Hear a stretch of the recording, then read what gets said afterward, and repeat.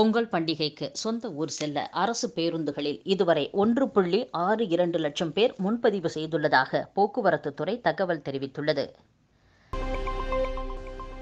சிதம்பரம் நடராஜர் கோவிலில் ஆருத்ரா தரிசன திருவிழா தேரோட்டம் இன்று நடைபெற்றது. சிவசிவா கோஷத்துடன் பக்தர்கள் தேரை வடம் பிடித்து இழுத்தனர். வரி ஏய்ப்பு புகார் எதிரொலியாக புரொஃபஷனல் குரியர் நிறுவனத்திற்கு சொந்தமான சென்னையில் உள்ள ஆறு இடங்களில் வருமான வரித்துறையினர் நேற்று அதிரடி சோதனையில் ஈடுபட்டனர். முக்கிய ஆவணங்கள் பறிமுதல் செய்யப்பட்டுள்ளதாக வருமான வரித்துறை அதிகாரிகள் கூறியுள்ளனர்.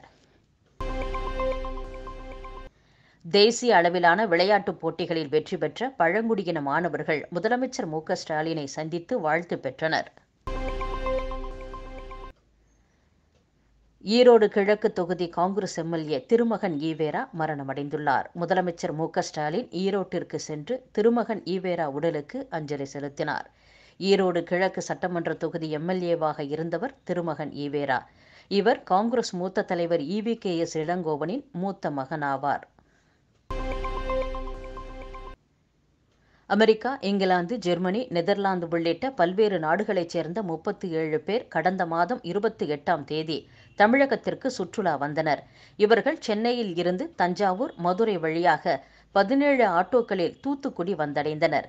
நேற்று தூத்துக்குடி அருகே சாயர்புரத்தில் உள்ள தனியார் தோட்டத்திற்கு வருகை தந்த வெளிநாட்டு சுற்றுலா பயணிகள் பொங்கல் பண்டிகையை வரவேற்கும் விதமாக தமிழர்களின் பாரம்பரிய முறைப்படி வேட்டி சேலை அணிந்து விறகு அடுப்புகளில் பொங்கல் வைத்து கொண்டாடி மகிழ்ந்தனர். இதில் சுவையான பொங்கல் வைத்த வெளிநாட்டினருக்கு பரிசுகளும் வழங்கப்பட்டன. முதலமைச்சர் மு க ஸ்டாலின் தலைமையிலான அமைச்சரவை கூட்டத்தில் தமிழகத்தில் பதினைந்தாயிரத்து அறுநூற்று பத்து கோடி ரூபாய் மதிப்புள்ள புதிய தொழில் முதலீட்டு திட்டங்களுக்கு ஒப்புதல் அளிக்கப்பட்டுள்ளதாக தொழில்துறை அமைச்சர் தங்கம் தென்னரசு கூறியுள்ளார். தமிழகத்தில் திராவிட ஆட்சியில் கடந்த ஐம்பது ஆண்டுகளாக மக்கள் ஏமாற்றப்பட்டுள்ளனர் என்று சென்னையில் நடந்த விழாவில் தமிழக ஆளுநர் ஆர் என் ரவி கூறியுள்ளார். நீட் தேர்வு விவகாரத்தில் முதலமைச்சர் மு க ஸ்டாலினும் உதயநிதி ஸ்டாலினும் மக்களிடம் பகிரங்க மன்னிப்பு கேட்க வேண்டும் என்று எதிர்க்கட்சித் தலைவர் எடப்பாடி பழனிசாமி வலியுறுத்தியுள்ளார். சுசீந்திரம் தானுமாலய சுவாமி திருக்கோவில் தேர் திருவிழாவினை முன்னிட்டு இன்று கன்னியாகுமரி மாவட்டத்திற்கு உள்ளூர் விடுமுறை அறிவிக்கப்பட்டிருந்தது. பிளாஸ்டிக் இல்லாமல் பராமரிக்கப்படும் பள்ளி கல்லூரிகள் மஞ்சப்பை விருதுக்கு விண்ணப்பிக்கலாம் என்று சென்னை மாவட்ட நிர்வாகம் அறிவித்துள்ளது.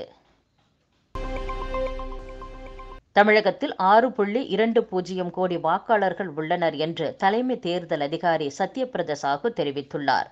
அவர்களில் மூன்று புள்ளி பூஜ்ஜியம் மூன்று கோடி ஆண்களும் மூன்று புள்ளி ஒன்று நான்கு கோடி பெண்களும் ஏழாயிரத்து எழுநூற்று ஐம்பத்தி எட்டு மூன்றாம் பாலினத்தவரும் அடங்குவர் என்று தெரிவித்துள்ளார்.